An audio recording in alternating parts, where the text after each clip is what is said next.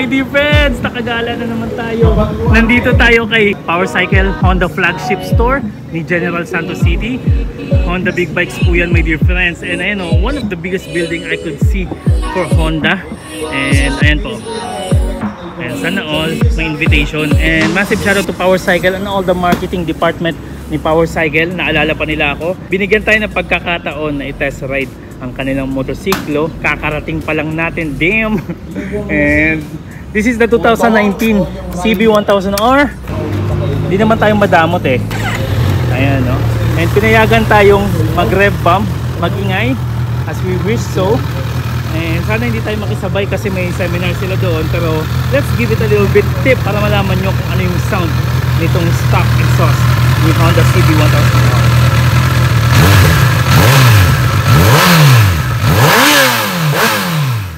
Retro classic po siya. And this is what you're going to get. And uh, LED po yan lahat my dear friends. It has hazard lights. So no doubt na big bike talaga to. And this is what we're getting on the rear my dear friends. Ayan po ayan brake light. Very beautifully done. The size of this motorcycle I cannot mention. I believe so nasa 200 plus siya. Pero inupuan kasi natin kanina kaya ayan uh, masasabi nating light and nimble siya. Uupuan na lang din natin para makita nyo po kung gaano ka ka-approachable for 5 foot 6 tall rider itong motorsiklo na to. Average Asian height 5 foot 6 tall rider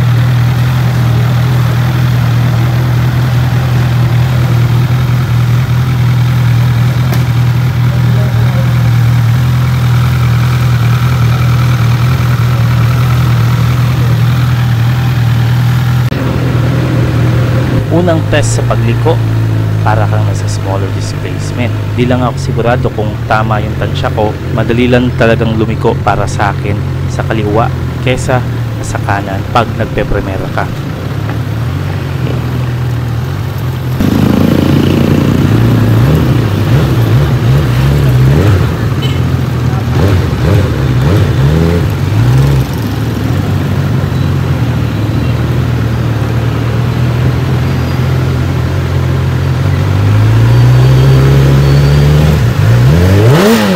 Massive shout out to Ma'am Roma and the whole marketing crew for this such great opportunity. And congrats na rin kay Power Cycle Honda Big Bikes kasi nga today is their grand opening.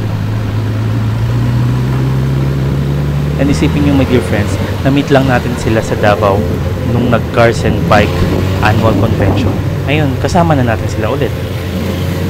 First impression is ang gaan talaga niya.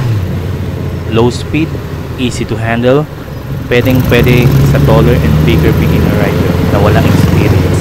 Kala ko magiging problema ang pag-alis sa first gear, pero swabe ang kanyang throttle.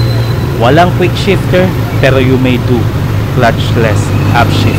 Hindi ko sinasabing maganda siya sa light traffic, pero this is a liter bike. It's meant to be treated right to its power. Hindi pa ako sigurado sa numbers, pero sure ako lagpas 100 horsepower at 100 newton meters of torque ito. Sa tingin ko sa handling niya, magko-consider mong bumili ng ganito kung may pangcash ka kesa mag 400cc. Naka-sport mode ako and still easy to handle.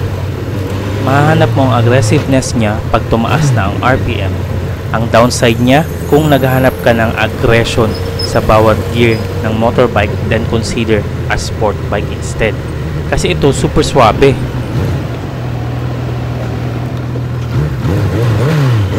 It's not a slow bike considering this has a 140 horsepower and 100 newton meters of torque.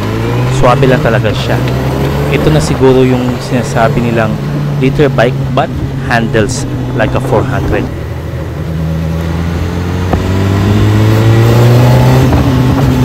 Now Honda is well known for its tech. I just wish na meron tong bike na to ng quick shifter and cruise control. I did some light clutchless upshifting. The reason why I think hindi siya nilagyan ng cruise control, considering this bike is not meant for longer rides, okay naman po ang positioning niya at hindi nakakangalay. Sa tingin ko sa positioning niya sa legs at saka yung fan ng radiator, hindi masyadong natatamaan. Hindi rin siya masyadong mainit sa legs banda kahit ang bilis uminit tong bike na to. Isipin nyo yung 100 degrees Celsius agad-agad.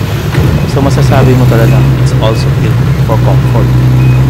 I may not or may have broken the law of camera. Pero dahil sa lakas niya, kung sanay ka lang naman sa sport bike or anything na mataas ang windscreen, I don't consider this as your bike. I think Honda built a capable leader bike na pwedeng i-accommodate ang needs ng mga beginner rider and when I said beginner, syempre, may experience na sa smaller displacement at saka pwede ring ma-enjoy ng mga pro. This is a bike to appreciate talaga. It's fast, it's light and nimble with a seat height friendly approach. Pati eargos niya hindi nakakapagod eh. Grabe. Congrats to Honda Power Cycle.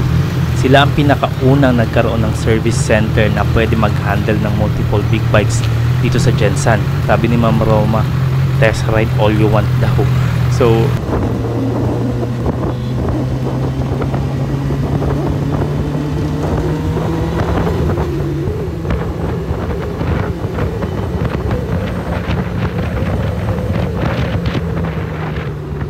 Sa tingin ko, ito ata yung endgame ko ng motorbike instead of the XSR 900 or unless ilalabas na ni Yamaha ang kanilang XSR 1000. On the looks department, doesn't look like a Japanese bike. It gives me an impression na para siyang Italian. I'm not saying that it's bad.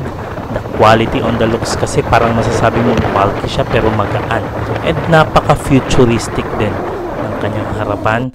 If I get to own one of these, I won't stop looking at it in the morning while I'm drinking the coffee. So ayan, sa mga nagtatanong, Honda guy na ba tayo? Malalaman yung sagot sa ating pagbaba. Paalala po na before tayo mag-motor, dapat ayos safe, kasi physical activity po. Pero okay lang bomba ko. One last bomba. So that's the beauty of this bike right here. jadi eh, uh, else bago natin ibalik ayan eh, no? Eh, ayan, ganda talaga hmm, kakagigil parang sa hmm, factor kumbaga and that's what I like about this bike. And one last word.